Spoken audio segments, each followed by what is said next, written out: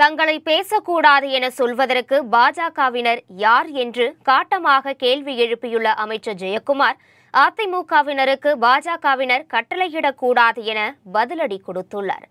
சுதந்திர போராட்ட வீரர் கப்பலோட்டிய தமிழன் வாவு சிதம்பரனாரின் நூற்று நாற்பத்து ஒன்பதாவது பிறந்த நாளை முன்னிட்டு சென்னையில் உள்ள அவரது திருவுருவ சிலைக்கு தமிழக அமைச்சர்கள் ஜெயக்குமார் பாண்டியராஜன் பெஞ்சமின் ஆகியோர் மரியாதை செலுத்தினர்.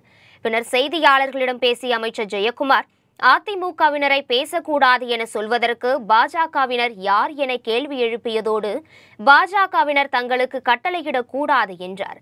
மேலும் சசிகலா வெளியே வந்தாலும் வராவிட்டாலும் தங்களுக்கு அது ஒரு பொருட்டே அல்ல என்றும் அமைச்சர் ஜெயக்குமார் தெரிவித்தார்.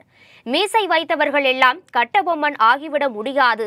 எம்ஜிஆர் ஜெயலலிதாவின் இடத்தை யாராலும் நிரப்ப முடியாது எனவும் நடிகர் விஜய்க்கு அமைச்சர் ஜெயக்குமார் பதிலடி கொடுத்துள்ளார்.